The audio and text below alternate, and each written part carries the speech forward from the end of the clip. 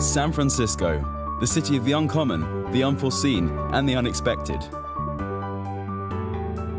People taking selfies at the Golden Gate Bridge, skaters training hard in front of the ferry building, business meetings happening at every corner. It's home to the hippie movement, the most open minded place in the United States. Here you will find people from almost every country on Earth. Palo Alto, the heart of Silicon Valley, is just a few miles south of San Francisco. This is the place where pirates challenge all business rules. It's the perfect habitat for big ideas aimed at changing the world. Here, everything you need could be just one talk away. If you think it's all about capital and investors, you might be wrong. We want to bring you behind the scenes, show you what really happens in Silicon Valley's backstage, and give you the insider perspective on how it feels to start a company here. Welcome to Silicon Valley.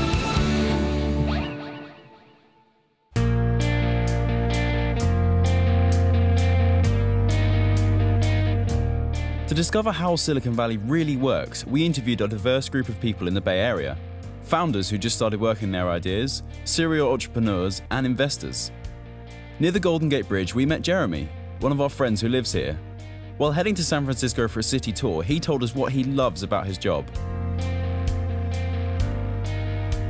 I've been teaching computer science this year, which has been a lot of fun. We've had the opportunity at my school to bring in some talent from industry. Like there's a guy from Salesforce and Yammer and Apple and Twitter who all come and actually co-teach a class with me. They come in a couple times a week and teach uh, computer science to students who otherwise wouldn't have the opportunity in a public school. It's pretty cool to have top executives teaching you how to code in high school. Why are so many people flying over from everywhere in the world to build their company here? We stopped by Runway, a well known incubator in town, to ask people like Justin, who moved here to create Birdi, an innovative smoke detector successfully funded on Indiegogo. It's amazing to be around other people who are going through the same things as you, to be in the same space where people are tackling the same type of issues as you on a day-to-day basis, and on the same level of crazy as you to be doing what you're doing. It makes life a lot easier. Right now it's 7 p.m. and I'm eating dinner out of a carver carton, which is totally awesome because everyone else is doing it here. It's, it doesn't matter. There's a bit of a DNA in this place for people who audaciously risk-taking, um, just pioneering, looking at what the next big thing is. You can see an executive from Twitter walking outside next to a homeless person, and they sometimes hard to tell who's the crazy one. A few desks away, we met Hon, who also relocated to San Francisco to build his startup. It's about March of last year, and I was in Houston at the time, and then we decided, you know what, if we're gonna swing for the fences and go all out, we wanna be where all the action is, and that's here in San Francisco. We moved here um, July of last year. I literally quit my corporate job, jumped on my motorcycle, packed my bags, and just rode out here. You know, back in Houston, I feel like there's maybe one startup event every month. Out here, there's like three startup events a day, right? There's so many great companies out here, so many great people, so many great mentors out here that, yeah, like I don't think our startup would be where it is if we hadn't been out here. There's so many of those serendipitous moments that have happened that have definitely given us a step up for our startup. Six months ago, uh, my co-founder and I went to a hackathon here in San Francisco, and um, you know we just went to it for fun. And then it was thrown by Jason Calacanis. And then I just had a chance to meet some of his team members. And they said, hey, Han, you should check out our launch festival. Uh, you know, it's, you know, hundreds of companies apply every year, but they only pick 40 to present on stage. So I said, hey, why not? I applied for it. And uh, a couple months later, we were literally on stage in front of thousands of people launching our product. So again, like that would have not have happened if we are anywhere else. This guy is pure energy. That's the right spirit to start a new company. We found the same grit and determination in other local entrepreneurs. But before we meet them, let's enjoy a breath of California. I'm on top of the world, now I'm living. And the good just gets better, keeps giving. Not even close to the end, it's just beginning. Life is getting lighter while the days are getting brighter, yeah.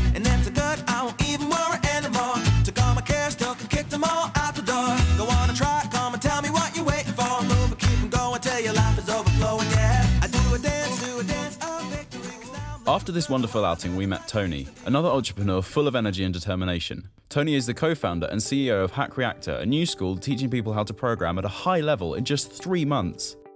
You get so emotionally attached to what you're doing and who you're doing it with. Sometimes you end up here at one or two in the morning working with a student just because you want to make sure they get it and you're going over something a third or fourth time and they have that aha moment, but now it's two in the morning, both of you are exhausted. To be honest, I made the decision more than I would have liked to to just crash at the office and pass out here and wake up, you know, in the same clothes and go to the gym, take a shower at the gym, and come back and just teach again. You know, I didn't go home and spend a night in my room for something like three months at one point. And none of the other founders were either. We were all just fully invested in working here, helping the students, and really living the experience of being around the people that we think we're having an impact on. It doesn't matter how hard it is to build your company, you have to be ready to do everything it takes to get there. This is the place for the crazy ones, those who believe so much in what they're doing that they will make it happen.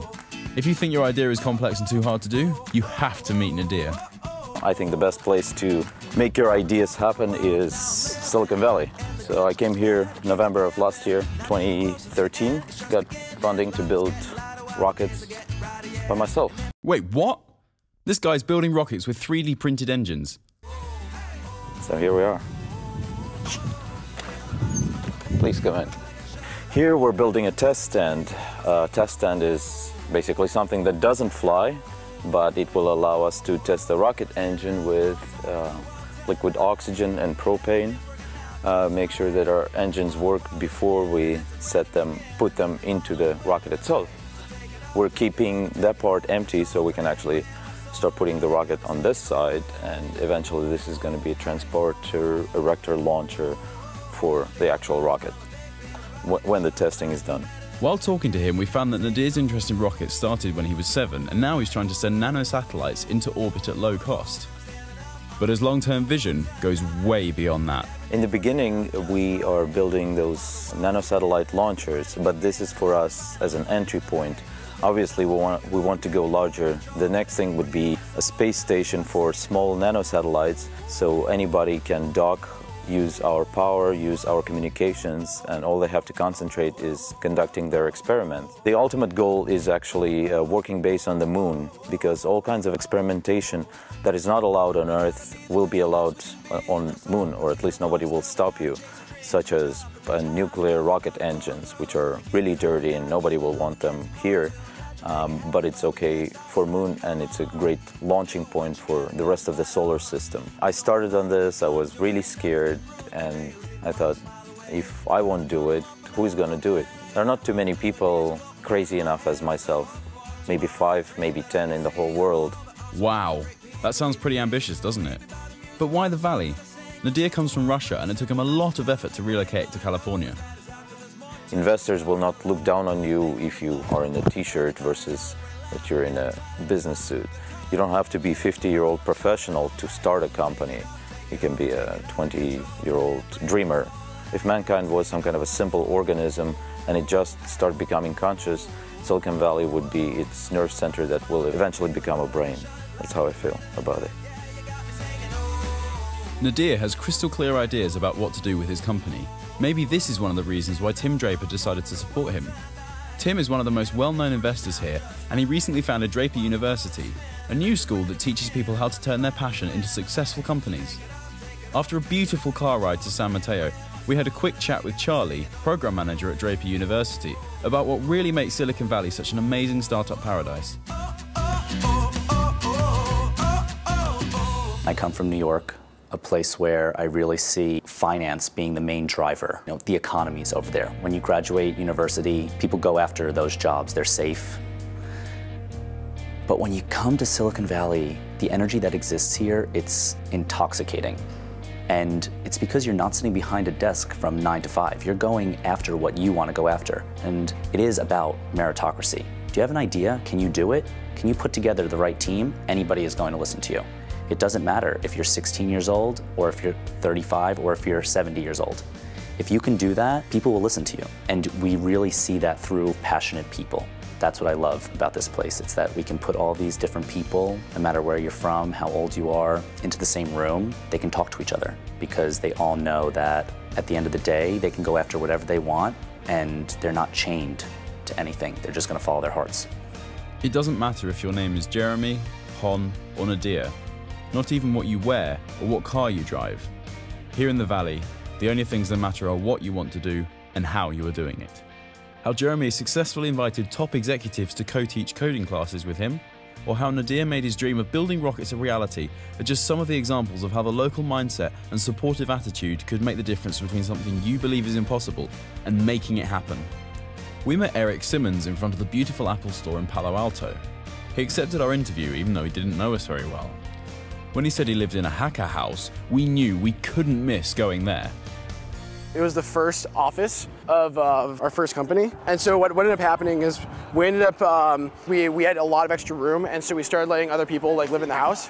For us, I mean, the, the advantage was, you know, one, our rent was cheaper because other people were paying for rent. But two, we had, like, we just had a whole bunch of like bright people, you know, all, continually hanging out with us and like seeing what we were working on. And so, you know, we became friends with them and, you know, a handful of them ended up like working with us on various things. And yeah, now it's like, a, it's kind of like a real community now. But yeah, so Tim Cook lives on uh, lives on our street. He's like five, four or five houses down or something like that. And so the, how we found out is one day we were, we were coming, you know, coming home from getting lunch or something. Tim Cook was like getting out of his car. And I was like, you know, we were like talking and we were like, whoa, holy shit, that's Tim Cook. but um, one of the kids who was an intern at the time started like almost like stalking him and like waiting for him to like come out and like go get yogurt and stuff. So because he like wanted to shake his hand and like Apple security came to our door and was like, yeah, like you guys need to stop like following Tim around. That's pretty funny. So this is our house, by the way. We weren't we haven't we weren't preparing for anyone to uh, to be here. So this is the like the front house. So we have a kitchen and we have a bathroom and, and all that sort of good stuff. And so down here we have uh, the back house. So yeah, so this is the back house. This is where um, a handful of us work out of. So again, like like a work environment here, whiteboard, all that good stuff. Um, yep, kitchen, uh, rooms. You should get a shot of this. We have a pretty sweet shower curtain. Teenage Mutant Ninja Turtles. This is our house. Um, this is like where uh, you know a lot of people you know work out of and you know do startups and all that sort of stuff. Eric is a young entrepreneur who is well known to have slept in the AOL offices for a few months just to keep working on his company since he had no money left for rent. It was, it was very much like a temporary solution that just became a, an extended temporary solution for like three months. you know, our company was just broke and I wanted to keep working on our product. And that's so every morning um, I would just, I would go and like run or, you know, do, do some sort of workout, right? And so, and then they have a shower there with free toothpaste and shaving cream and like shave, yeah, it's like everything, right? And then they also have lockers that no one uses. And so what I just, I just took like three lockers and just had like, you know, t-shirts and, and, shorts, you know, long pants and, you know, socks and then, you know, other, right? And I just like took all three lockers and that's where I like kept my stuff. but I was like trying to like fly under the radar, you know? Or at least a handful of people told me that, you know, living out of AOL was like crazy, like in, in perhaps in a bad way, where like, you know, like create huge risk, you know, very little chance of reward, right? Which is, you know, very true. I think, I think at the end of the day, right, it's, you know, it's entrepreneurship. It's about taking risks at, for things that perhaps seem illogical on the outside, but, you know, to, to the, to the person, to the entrepreneur themselves is logical, right? So like, you know, Snapchat just seems like the stupidest idea until you're actually using it. So def definitely the acceptance of crazy ideas is, I think, is interesting. From sleeping in the office to building his third startup, Eric really knows how it feels to start a company here. Most of the people I meet here are, they genuinely want to help you. Like other entrepreneurs want to help other entrepreneurs. My friend Michael Carter, who originally kind of like taught me this this mentality, um, you know, the way he put it was, you know, okay, I was like, you know, dude, like thank you so much for like helping me you know, figure out how to like put down, put together a seed round. Like, you know, how can I like help you? And, and you know, his response was, you know, if my company goes under and your company is like a billion dollar company, I would hope that, you know, you'd, I'd be your your first hire, right? If I, if, you know, if my, when, when my company went under. And that is I think indicative of this idea that the entrepreneurs win in, in, in, numbers, right? So if you help out your entrepreneur friends, they'll help you out. And so at the end of the day, everyone everyone's trying to help each other to win because if, if one person wins, then whoever's connected to them can can also win big, right? And I, I don't I like from from the, the little that I saw in Europe, I didn't see like a, a, lot of that kind of camaraderie a lot across the different companies. Um, it seemed very, you know, the companies were seemed very desperate from each other, and when they would see each other, it wasn't like, oh, tell me how I can help. It was like, oh, cool, like, whatever. And I, I don't, I don't know if that's totally, totally indicative of, of what the culture's like, but I, I definitely think it's um, there, there's very few places in the world where I've, I've ran into that kind of idea where it's like, let me help you, you help me, and uh, I, I think that's I think that's really important. It seems Eric really knows what he's talking about. What we found incredible is how this 22 year old already understood what it takes to start a company. I think I think in most cases, being like a good entrepreneur has more to do with endurance than sprinting, right? Um, and so the people that that I've met that do really well are, are the people that just can just keep grinding away despite all the crazy, crazy, horrible stuff that happens at their companies and all the hard stuff that they go through.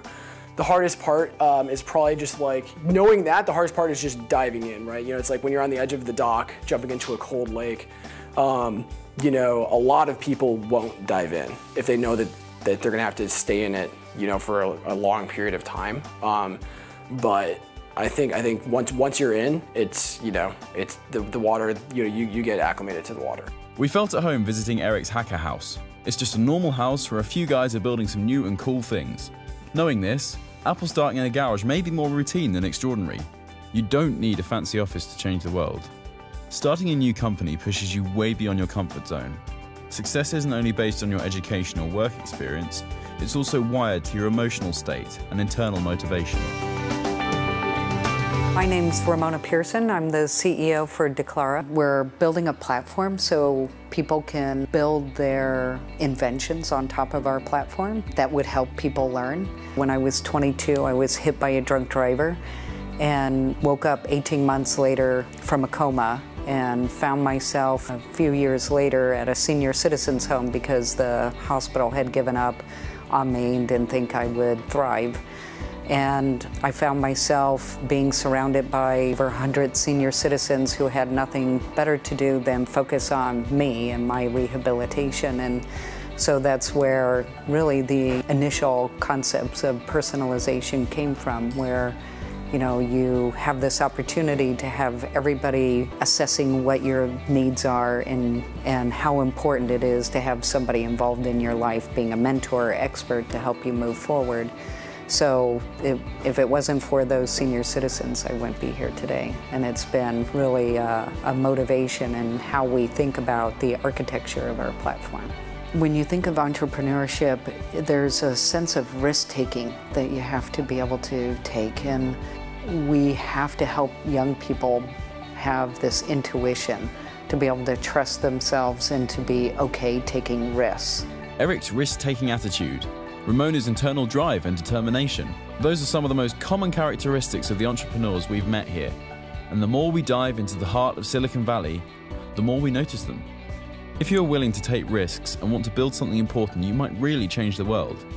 We met Danielle, a young scientist who has dedicated her life to technology and research.